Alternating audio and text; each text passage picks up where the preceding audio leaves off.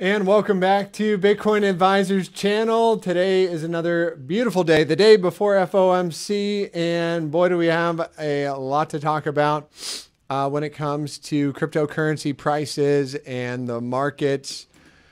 Typically, what happens is a lot of traders will go neutral going into that event, meaning that uh, no positions on because, well, uh, you don't know if you're going to get a wild card out of the Fed. However, the Fed has been more transparent and trying to kind of do what they said they're going to do, and they need to restore confidence in the Fed.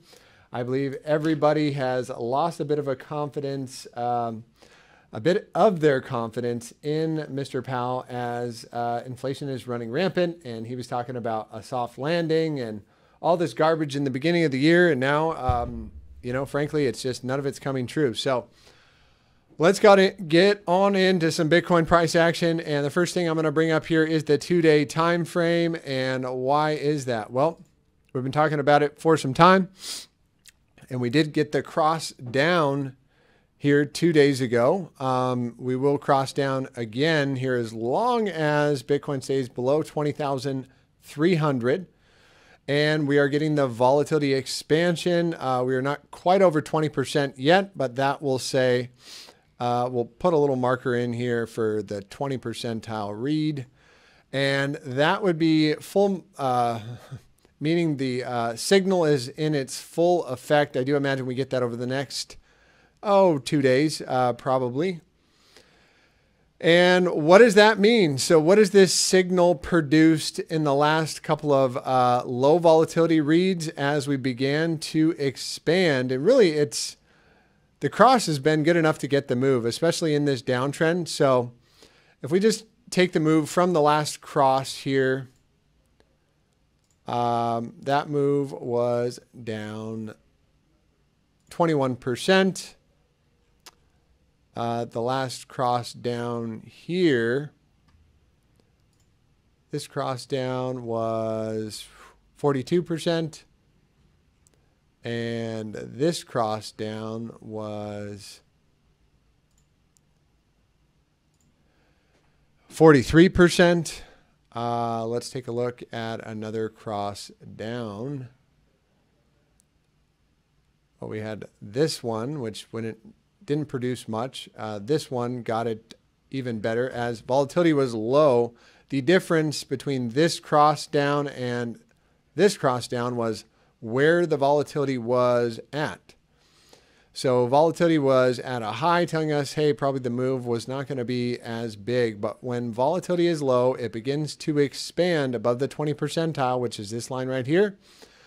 The move is in effect. And uh, let's just see, that move was 37%. So I think if you go back and continue to back test this, uh, low volatility and the stochastics are just going to get the direction of the trend. Um, and the, you know, the idea is that when volatility expands, you would expect the price to go in the direction of the trend. So if you do want to set up TradingView and start to learn how to get some of these signals, we have a free link in the description below. You can set up TradingView for free. You can always sign up. I think it's $20 a year for the first package and uh, get, you know, a few more indicators, but the average move is about 32%. And if we take 32% down from the cross and volatility expansion, which would be I'd say from this guy right here, 32% down. Can we even get down that much? So 32% gets us down to about 13.5. Now, um, what else do I believe is going on here? Uh, well, you got the five-day time frame producing the same signal. And volatility is already expanding. We are crossed to the downside. We got another two days and four hours until the next closure and we will remain cross down as long as we're below 20,100. So this move is already in place and the average move on this guy is about 45%.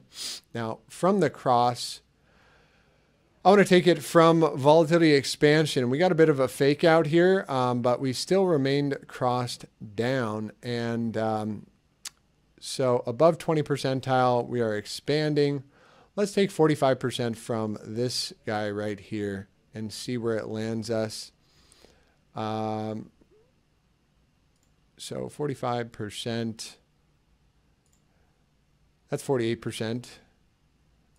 If we take 45% from that level or 42% from this level where volatility just began to expand, that gets you down to about 11.5. And um, why do I have this green box down here? Well, it's real simple. I believe in the fibs. And the fibs tend to give you a very, oh, I want to do the weekly chart, excuse me. Based on closures and where does that line up? That fib is coming in right there at 10,500. Um, so not only does that line up with a few other things, um, but there's just major confluences across the board for Bitcoin's price to head down and make a major low. And I do suspect if Powell comes out with a 100 basis point rate hike tomorrow, um, the markets are going to bleed out and it's going to be a bit of a bloodbath for stocks and for crypto. Uh, we had a bit of a recovery in the stock market towards the end of the day. Um, and that's typical on these days before the Fed meeting. Um, as you know, people are gearing up. I mean, the market's just trying to fake everybody out. And if he comes out with a half a basis point rate hike, then I'd say we probably get a decent sized bounce. But if anything, I, I believe that would be just a interpretation of the market. So these Fed meetings, what's to be clear is that what's important about a Fed meeting is this is the expectation going in and then the reality of what happens after and then how the market interprets it. So what's the expectation? 80% of analysts are expecting a 75 basis point rate hike, which is exactly what Powell said back at the Jackson Hole meeting, right? 75 basis points due tomorrow. We'll get that meeting at 11 a.m. I believe it's 11 a.m. Eastern time. Don't quote me on that, but that would be around 9 a. Sorry, that would be around 8 a.m. Let's let's just Google it. When is the FOMC meeting tomorrow?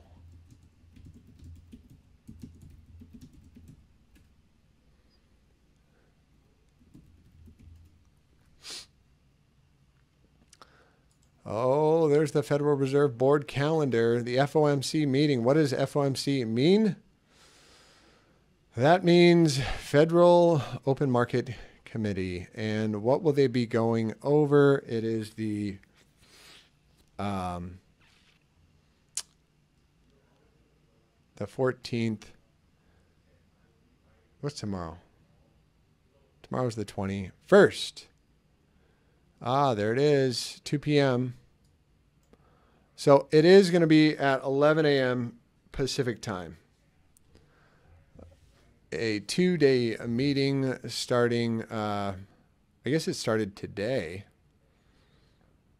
with selected interest rates at 4:15 p.m. I wonder if we could watch that. Anyways, that's besides the fact. Um, if they did a half a basis point, I imagine the market would bounce initially and then go for the retrace. And why is that? Well, I think people would realize that one, Jerome Powell is not doing enough to fight inflation. So that ultimately will lead to more inflation, which would be bad for the markets. It's almost like the market could bounce if he does what he said he's going to do. Some are saying it's already priced in. I don't believe so. Um, I don't think that the market, because the average Joe is just not even following this stuff. They, they don't even know what the FOMC meeting is. They don't even know their stocks are down that much, right? I mean, from the high on the NASDAQ, which not everybody's in the NASDAQ, but we're down 29%. The Dow Jones getting beat up pretty bad today. Closing on a down note. Dow Jones is from the high to the low only down 16%. So the pain has not been felt yet. We've gone over this time and time again. And uh, I believe the rate hike is going to be kind of one one of the nails in the uh, the coffin, uh, in a sense. Not saying we can't get a little bounce, but um, back on to the five day time frame, which we just discussed. This move is in effect.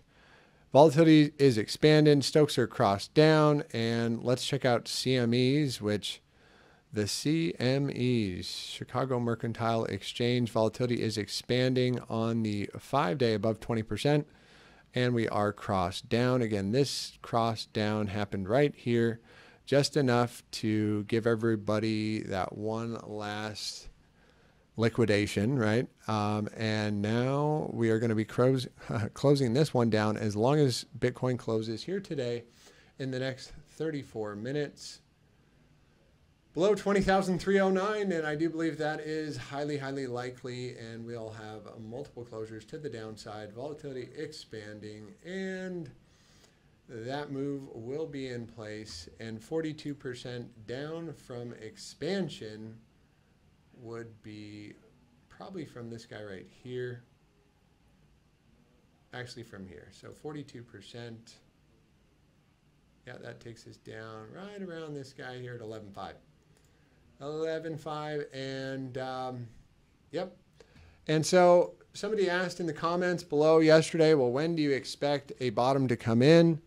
And I said, look, I don't have a crystal ball here. I'm just using some basic TA to kind of judge uh, on where things could potentially bottom. And what we see here, I'm just going to line this up one more time for you guys because I think it is pretty darn beautiful to uh, check this out. So you, on the weekly time frame from the top, you got 11 bars down, 9 bars up, 11 bars down, 9 bars up. Feel free to count them out yourself. Oh, you'll have to open a TradingView account, which is free. You can do it by clicking in the link in the description below.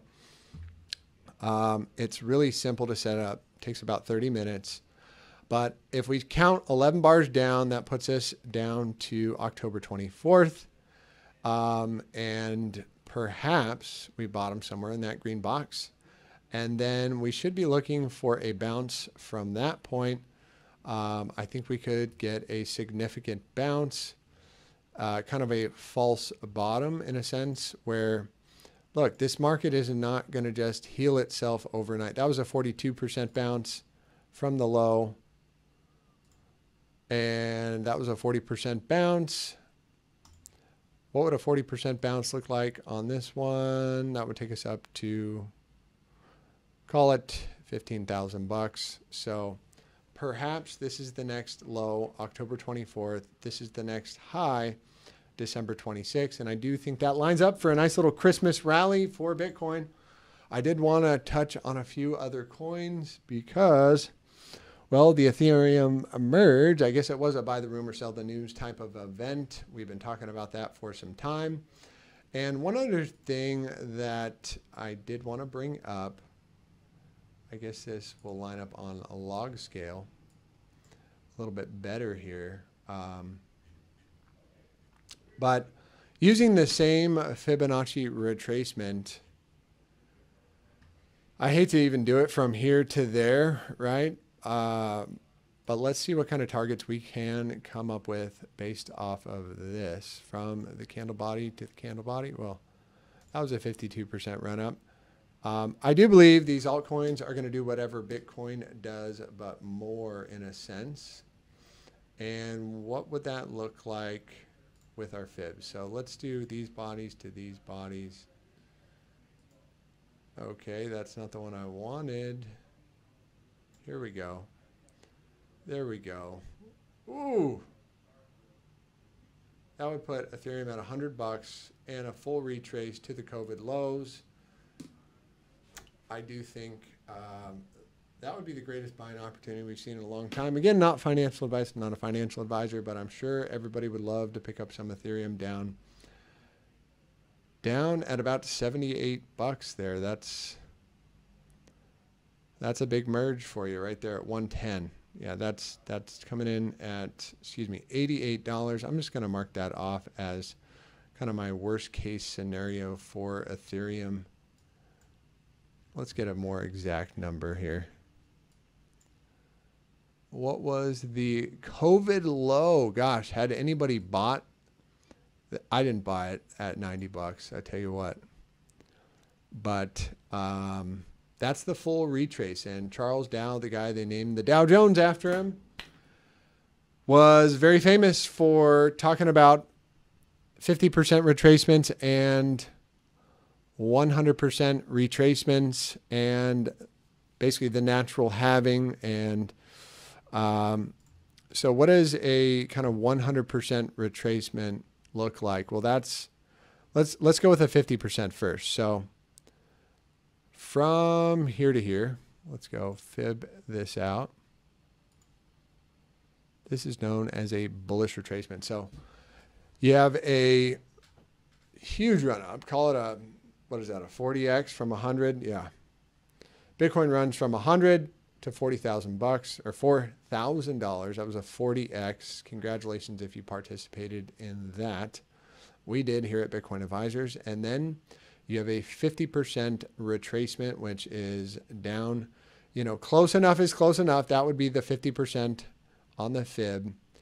And then what do you get? Well, you get 100% retracement, which is going to be this guy right here. So we came down this much and up this much, right? 100% retracement. And what else did we do? From this low to there, uh, excuse me, from this high to this low, I, I'm willing to bet that's another 50%. Notice how this TA stuff uh, tends to work out. Okay, so this was more of the uh, the, the, the two thirds kind of uh, theory right here. And that's also what he talked about is the 618 fib, which is this guy right here. Um, it almost had a, let's see, I'm going to measure it out from the high to the low. That was 34%, so a third down. Needless to say, down what looks like about 50%. So from this low to this high, 129%. I don't know why my math is 1700 to 3900 down to 2650. So for round numbers, let's say this was 1500 runs up to 3000 so it runs up 1500 and then down, you know, almost half. That, that looks like half to me. Close enough is close enough. Anyways, um, we had more than 100% retracement. In fact, it went up another 100. And then what do we do? Another 100, 100% retracement from this low to this high, a little bit more than 100%. And now would be the full retrace which is from this low to this high and then back to this low. And uh, this could be seen as a massive head and shoulders as well. I mean, it, it looks like to me, right? Here is, I'm going to draw them out for you. Here is the head. Might call that a double head, right? And here is your shoulder and your shoulder and how do you measure these moves? And you wonder how these trend lines all come in place here. But look at this, right? That's how you measure the shoulder line. So as long as Ethereum doesn't break back above 2600, this move will be in effect. And you can see you typically measure from the top of the head. If we measure from the the neckline, which is coming in right here.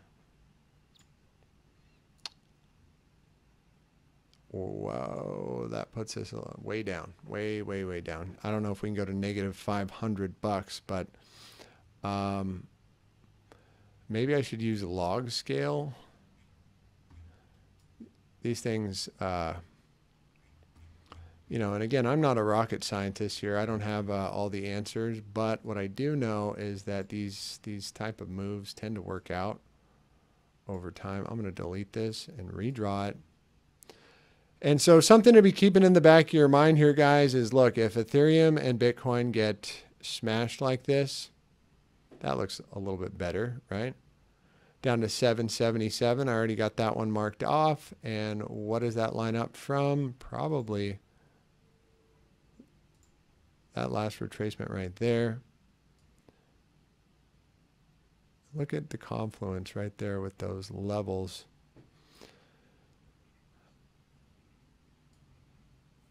And that,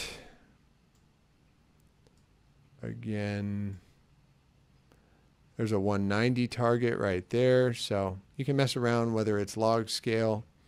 Um, but yeah, the measure move here in effect, as long as we're below the neckline and 795s in the cards, I don't think we'll stop there. That's kind of no man's man. Oh, it's right up at this high right here at 790. So it could get a nice little bounce right there. All right, I'm jibber jabbering and I'm going to get into the news piece of today. So, all right. And I'll just go over invalidation. So, invalidation for Ethereum would be any kind of a weekly closure back above 2000 bucks. Uh, for Bitcoin, how do we know this trade idea is kind of over? Any kind of a weekly closure back above 25,000, I would say all these ideas would be invalidated as long as we are closing below there. And this would be your first warning sign, a weekly closure back above 23,000. But really, that green box is going to be the area to be keeping an eye on and looking for invalidations. Okay. That's it for Ethereum and Bitcoin. Let's jump into the news. So, Crypto news today CFTC commissioner visits Ripple offices as decision in SEC case looms. So, the outcome of the SEC versus Ripple lawsuit could influence whether the CFTC or SEC will play a greater role in handling the XRP token. I hope XRP wins. I really do. And if they do win, I would expect a nice little pump out of out of Mr. XRP. Going to get a pump here if they win the lawsuit. If they lose, it is going to be a bloodbath. Okay. I'll look at Mr. Garlinghouse and uh, the CFTC commissioner. Is that her? Caroline D. Pham? I don't know if that's her. But uh, Mr. Gary Gensler says the uh, SEC has pursued many enforcement actions against crypto products and related areas. The regulatory body labeled nine tokens as crypto asset securities, falling under its purview in July complaint against a former Coinbase product manager, prompting criticism from Pham at the time. Who's Pham? The timing of Pham's visit had many social media reacting CFT to the CFTC's approach to engaging with crypto firms and token projects when compared to that of the Security, uh, uh, Security and Exchange Commission, or SEC. On Saturday, the SEC and Ripple both filed motions for summary judgment in a case alleging the firm's XRP, the firm XRP violated securities laws. The case has been ongoing since December 2020. And what do I think? I think, in fact, when you print your own money out of thin air, you're going to cause some trouble with the U.S. government. So probably not the best idea to be doing that. Um, anyways, that news is in, and what do you know? Bitcoin Magazine promotes another Colorado article. I think it's very interesting. Colorado becomes the first U.S. state to accept Bitcoin as payments for taxes. I wonder why they would do that. You know, Colorado, the first state to start smoking weed on the public highways, right? No, it's it's it's a good thing. And Colorado just became the first state to accept Bitcoin for tax payments. The governor, Jared Polis, announced the implementation of the new payment method on Monday at Denver Startup Week, according to the report by Axios Denver. Citizens can use cryptocurrency to pay individual income tax, business income tax, sales tax, and use tax, withholding tax, severance tax, and excess fuel tax are eligible per the report. Uh, the state government's Department of Revenue now lists cryptocurrency as a payment method among the more well established debit and credit cards, ACH, debit and credit, and cash. So if you think Bitcoin's going away, you might want to just take heed when the government starts taking Bitcoin as a form as a form of payment for taxes. They might think it's going to be around for a little while, right? So, you know, from Warren Buffett going that Bitcoin's rat poison squared to now Colorado saying, hey, we're going to take that Bitcoin as a form of payment for taxes. I'd say it's bullish for the markets. Okay, getting on to our last segment. I'm going to try and do this in five minutes and go over again. When Bitcoin goes down, all the other coins get racked, and that is, you know, you know what that means. I, it's like Mike Tyson said, everybody's got to get a plan. Everybody's got a plan until they get punched in the face. Well, if Bitcoin gets punched in the face, well, some of these um, altcoins are going to get knocked out. And just a couple things I'll point out here. Ethereum in this last run up ran up 129%. Ethereum Classic ran up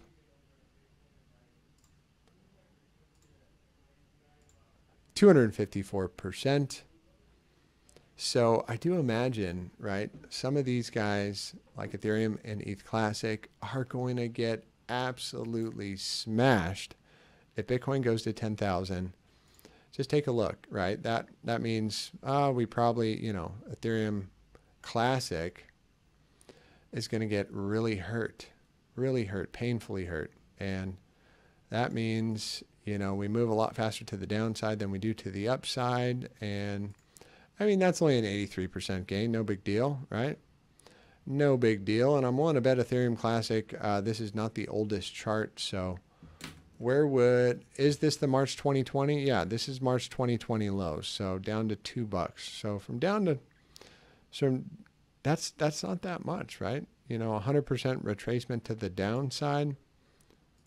Why does that not seem like very much? 89%. Well, that that could be pretty rough. Um, let's take a look at some of these other guys. Synthetix, which has been relatively strong one of the stronger assets, a project I really like, long-term bullish. Already wicked down to this high right here on the weekly time frame, holding a strong downtrend, lower highs and lower lows. So where would the next lower low be expected to come in? Any kind of a weekly closure below this guy, and I would say we got a target right here. I'm not even going to measure that out. But let's get on to it with Mr. ApeCoin, which went, the apes went bananas for ApeCoin, and this could be the last pump fake for the week. This was a bearish candle, and this thing has been flying to the moon over the past just couple of days, I think. Um, yeah, I mean, from last week, we went from 429 to 562, um, one of the better performers. And do we see a head and shoulders in place here? Not really. Um, and I would say actually got invalidated here with this guy right here. And the weekly downtrend, what do we see? Lower highs, lower lows. And this is a slightly, I mean, we got this higher high, higher low, trend reversal. If that was Bitcoin, we'd be talking another story. But altcoins do whatever Bitcoin does, and I imagine this is just a better time to get short. And this was a bit of a pump fake. I could be wrong, but um, if Bitcoin starts breaking below 17.5, I would look for a nice little retracement and given a target down on ApeCoin would be something like this right here. Fantom, this one has been one of the worst, um, one of the biggest losers here. And shoot, I think we already had, yeah, we did have this target in place. I said that's the first target at 22, already hit. And uh, that was with any kind of a closure below 24 cents. We Already made it down to 22 cents. What kind of a move was that? Not a big move, 8%. 8%. And I do believe, yeah, we're going to come in and hit this wick here, whether you like it or not. Sorry, Mr. Fantom. Okay, so targets in place. Invalidation comes with any kind of a weekly closure back above 25 cents. Excuse me, this is the daily time frame. Sorry about that, guys. Daily time frame. Now this is the weekly chart. Look at this. Almost got the full retrace already. It's it's ready to go. It's ready to be fun. All right, Solana. Oh, everybody loves Solana. And doesn't look like we've hit this target yet. I believe that's incoming at 2741. And then any kind of a weekly closure below this wick. I got a target of, I'm going to move this up slightly here. to 11 bucks. Okay. Aave has not hit its target yet.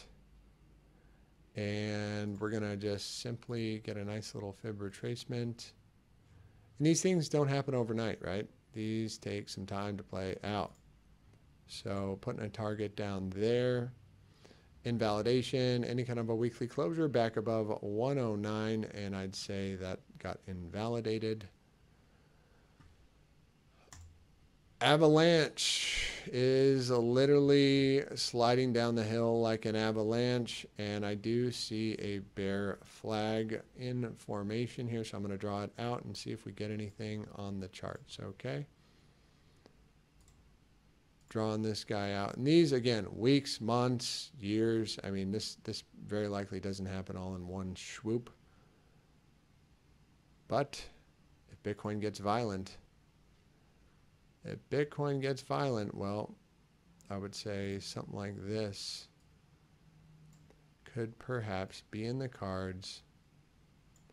That would take us down to this guy right here at $3.92 and the full retrace would be all the way down to 84 cents. That could be absolutely brutal. This does look like a double head shoulders and yeah, you start closing weeklies below 1040 and that that is going to be your last chance of the Mohicans right there.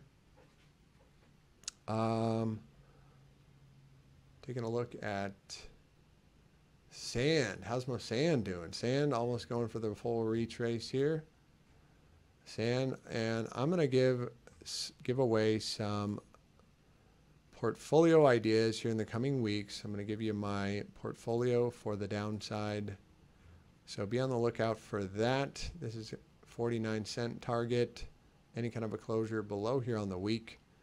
Um, back above 39, yeah, invalidation or even 117. Um, otherwise, the move looks to be in fact. Volatility is cross, you know, low, cross down, and in the bearish control zone. So not looking good for Mr. Sand. All right, I'm running out of breath here. Let's do the last one, Mr. Cardano. We've had this one measured out. We've been calling it out for some time. Mr. Cardano, how far down can you go? 24 cents. Oh, I think she can go lower. This just looks like distribution here, right? You get the big run up, people taking profits and distributing it on the hopium dealers, the hopium people. Um, weekly closure below here, and yep, the measure move is down. I don't know where I got that. That looks a little bit lengthy here, so let's draw this out a little better. And I do believe that's a little more accurate here. So I'm just going to move this guy up here and then see. And I believe that was the last breakdown. And again, you don't want to break buy the breakdown. You want to buy the retest. So if we get a candle down to like 38 cents, right? Imagine it comes up, retests 42, and that would be your entry. Again, not financial advice, not a financial advisor, but that's how I'd be playing it if I was looking to short this guy, and I'm not. I'm not doing it at the moment. Just curious, looking at mana, and maybe we had this drawn out wrong, and it does look like we are on the brinks of a breakdown. So again, we broke the trend line. We retested and now we're coming back down and I would expect this wick to get hit and really um, we could draw it from more like here to get a target. Mr. Mana, Mr. Sandman. Is this the COVID lows? June 21. No, it's not. So this is not the oldest chart. But I will put a target on Mr. Mana here at 53 cents. And uh, probably gets a bounce off the wick because it is lining up with these wicks deck here.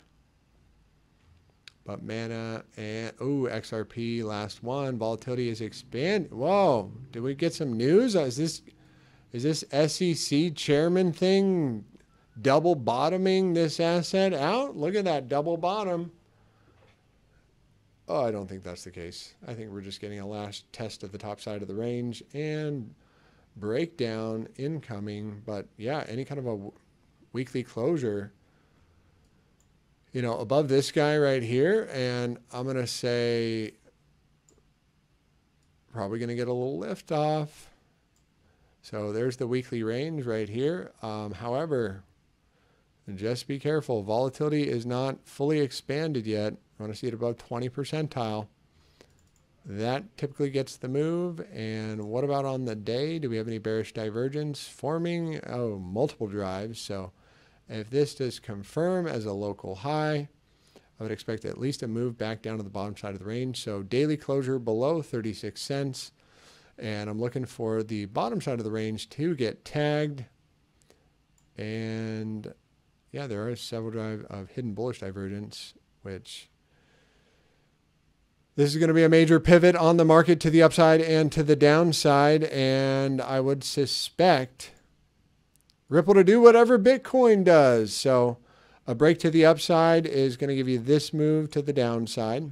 Excuse me, a break to the downside. And a break to the upside, 1618. I mean, it could really get going here. Volatility is expanding on the two-day. We're crossed up. Everything's crossed up. We'll cross down below 37 cents. So that would be a good one to keep your eyes on. And um, yeah, I'm glad I'm taking a look across the galaxy here in crypto land so I can reveal some of my portfolio that looks like, um, you know, I see all these other YouTubes out there. They're like, buy these altcoins. They might got the best chance for hope. And I'm going to put out a short list on what I think is probably one of the only one one of the only ways you can make money in a bear market. And I'm going to put my portfolio up against some of those big channels out there that are talking about their Solana, Matic, and XRP and Cardano bags they're holding on to till they die. And I'm going to see um, see if we can beat their portfolio and, uh, you know, we'll track the performance over the over the following 30 days. Maybe I'll do that at the end of September or maybe I'll do it in the next day or two. So be on the lookout for that. Um, that's it for today, guys. Long video. Hope you have a blessed and highly favored day. Make sure you like and subscribe if you enjoyed the content today and you want to learn how to trade some cryptocurrencies. We've got, again, free uh, tutorials and um, daily analysis. Take care.